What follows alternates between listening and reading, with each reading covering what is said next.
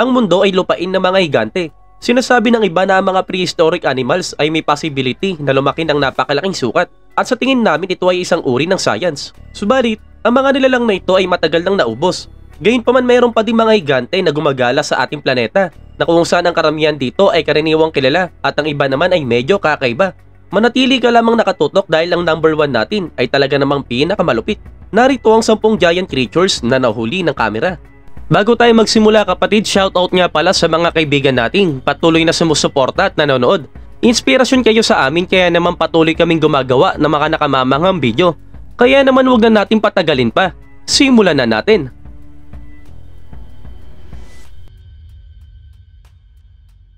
Number 10, The Strange Blob of Acapulco.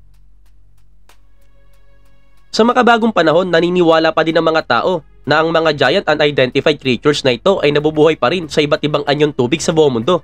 At sa katunayan, tila ito ay nagbigay ng spark sa marine exploration technology at muli nitong pinasigla ang paghahanap sa mga hindi pangkaraniwang nilalang. At sa katunayan, may mga ganitong uri ng mga nilalang na napadpad sa dalampasigan. Noong March 2016, isang 13-foot unidentified blob ang inarod sa dalampasigan ng Acapulco, Mexico. Ang ilang mga scientifico ay naniniwala na ang creature ay isang balyena at ang iba naman ay pusit. At syempre ang tingin ng mga tao sa internet ay nakakatakot na halimaw. Ano man ang itsura ng creature, tila ito ay namatay bago ito inadod sa dalampasigan. Number 9. A Giant Anaconda Kung mayroong isang bagay na hindi mo gustong makita habang nagtatrabaho sa isang construction site, malamang ito ay napakalaking anaconda at ito mismo ang nakita ng mga manggagawa sa isang kuweba habang nagtatrabaho sila sa kuweba ng Altamira sa ilagang estado ng Para, Brazil. Kaagad nilang nadiskubre ang higanting ahas pagkatapos ng kontroladong pagsabog. May haba itong 33 feet at tumitimbang ito ng halos 462 pounds. Ito ay isa sa pinakamalaking anaconda sa kasaysayan, buhay man o patay. Matapos gawin ng pagtuklas, inangat ng mga manggagawa ang hayop sa crane at kalaunan ay itinaas ito upang ipakita ang dilaw na batik-batik nitong tiyan. Isang hakbang na binati ko sa mga komento nang ma-upload ang clip sa YouTube. Sinasabi ng mga tao na pinuksan ng mga trabahador ang ahas kaysa iwan nito sa natural itong tirahan. Subalit, ang lahat ng ito ay hindi pa rin kumpirmado. Ang iba naman ay naniniwala na ang hayop ay maaaring namatay sa pagsabog. Posibleng tinamaan ng mga nahuhulog na debris ang ahas, kaya naman makikita mo na tila na yupi ang ulo nito. Number 8, the Jacksonville Dinosaur.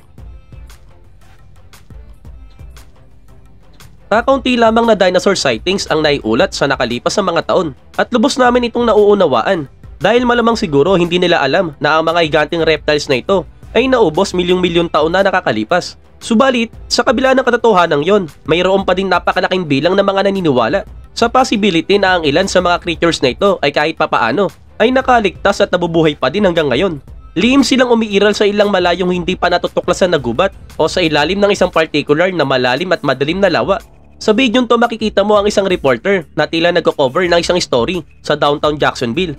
At pagkatapos ito ay nakarinig sila ng kakaibang tunog, kaya naman inangat nila ang kamera sa bakod ng construction site. At nagulat sila sa kanilang nakita. Ang kamera ay sobrang maalog at talagang hindi namin nakita kung ang bagay na ito ay gumagalaw.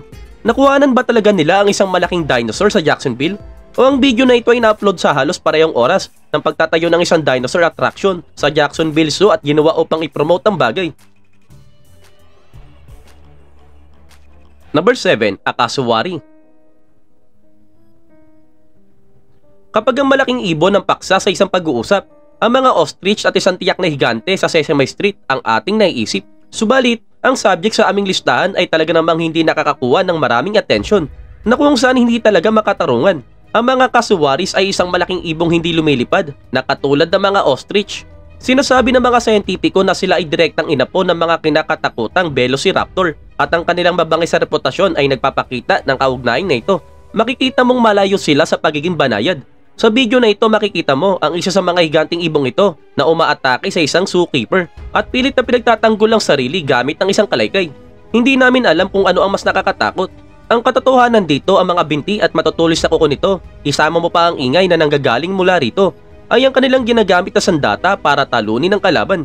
At sa kabila ng kanilang mabangis sa reputasyon, ang ilan sa mga tao ay pinananatili sila bilang mga alagang hayop at tulad ng inaasahan, may mga naiulat na din ng mga nakamamatay na pag-atake ng mga ibon na ito. Isa na dito ang nangyari sa Florida nang ang isang lalaki ay inatake ng kasuwari nang hindi niya sinasadyang matumba sa lupa habang nasa kulungan. Pagkatapos ng pag-atake nakaagulat dahil nagawa niya pang tumawag ng tulong. Subalit, ang nakakalungkot dito ay huli na ang lahat.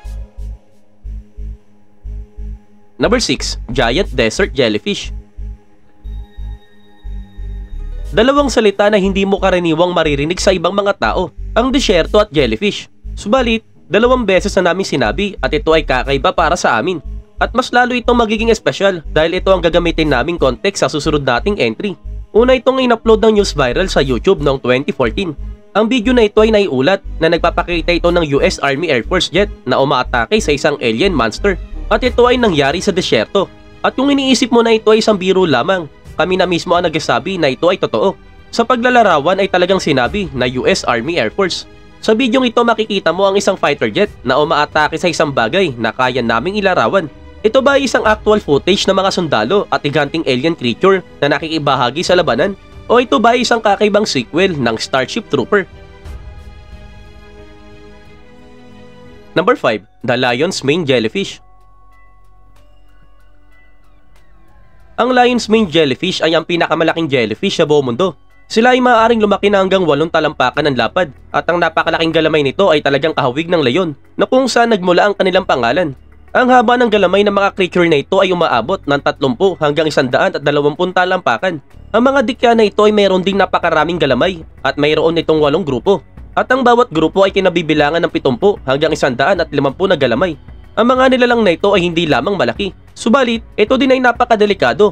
Ang mga nilalang na ito ay grabe kong umatake, subalit ang kanilang kamandag ay hindi naman nakamamatay.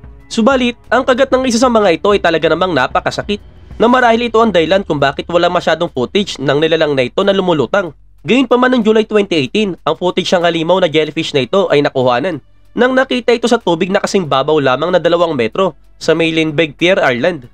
Noong taong yon nakakita sila ng napakalaking bilang ng mga ito at ito talaga ay hindi karaniwan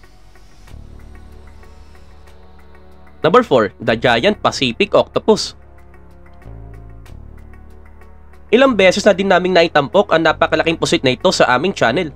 Kinailangan talaga naming pigilan ang aming sarili na isama ang isang to sa listahan dahil na din sa maraming kadahilanan. Gayunpaman may iba pang higanting invertebrates sa mga karagatan at isa na ito sa kanila. Ang Giant Pacific Octopus ay lumalaki na mas malaki at nabubuhay na mas mahaba kaysa sa anumang iba pang uri ng octopus. Ang size record ng isang specimen ay umaabot ng 30 talampakan ng lapad at may timbang na 600 pounds. Ang mga average na sukat naman ay umaabot ng 16 na talampakan at 110 pounds. At bagamat ang higanting pusit at ang malalaking pusit daw ang inspirasyon para sa mga kwento ng mga halimaw sa dagat na umaatake sa mga sinaunang barko. Ang mga sinaunang artist ay karaniwang nagtatampok ng isang hayop na mas malapit na kahawig ng higanting octopus. Ang giant Pacific octopus ay may huge bulbous head na karaniwang mapula-pula ang kulay Bagaman tulad sila ng iba pang miyembro ng pamilya, gumagamit sila ng mga special pigment cells sa kanilang mga balat upang baguhin ang mga kulay at texture. At maaari silang humalo sa mga koral, halaman at bato. Sa video na ito makikita mo ang isang particular na malaking specimen na lumalangoy sa tubig ng Washington. Number 3, the giant oarfish. Speaking of totoong creatures na napagkakamalang halimaw sa dagat, meron kaming higanting oarfish sa pamamagitan lamang ng pagtingin mo sa isa, tiyak na mauunawaan mo ang dahilan kung bakit dahil sila ay ganap na napakalaking isda. Ang mga nilalang na ito ay kilala na umaabot sa habang isandaan at sampun talampakan. Sa totoo lang ang mga nilalang na tulad ito ay talaga naman nakakagulat. At ang mga sinaunang mandargat na nakakita sa kanila ay tinatawag pa silang sea serpent. Ang mga oarfish ay karaniwang matatagpuan sa lalim na humigit kumulang 656 feet. Subalit, sinabi din nila na umaabot din ito sa 250 feet ayon sa Florida Museum of Natural History. Habang hindi maintindihan ng mga biologists kung bakit umangat ang mga nilalang na ito sa pangpang. Pinaghihinalaan nila na malamang ito ay dahil sa inaanod sila patungo sa pangpang o di naman kaya lumalabas sila kapag sila ay nasugatan o malapit ng mamatay. Kaya naman ang footage na ito ay medyo nakaagulat.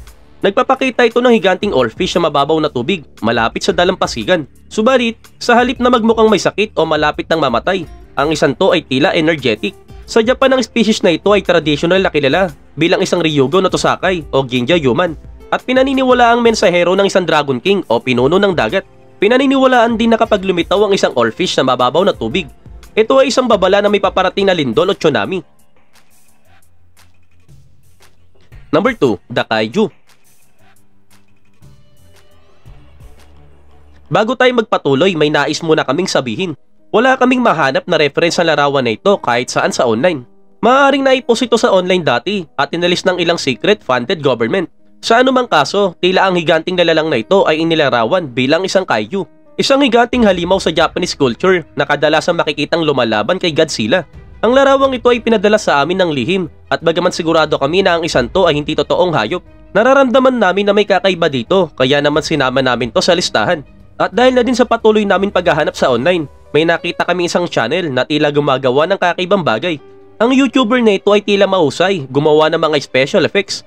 Siya ay particular na mahusay sa paggawa ng maikling video ng mga higanting halimaw at alien tripod na lumilitaw sa iba't ibang mga landscape at cityscape. Ang pagkakatulad sa pagitan ng larawan ngayon at ang kanyang mga video ay medyo kakaiba na kung saan naiisip namin na siya siguro ang unang nag-upload ng larawan na ito.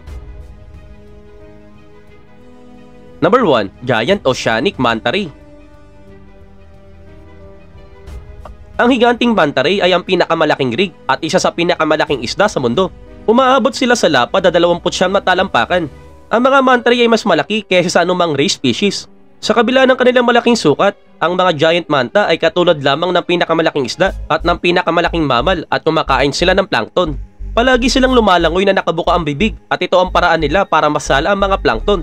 At upang gumana ang discarding ito, ang mga giant mantas ay may specialized flaps na kilala bilang cephalic lobes na tumutulong sa pagdirekta ng mas maraming tubig at pagkain sa kanilang mga bibig.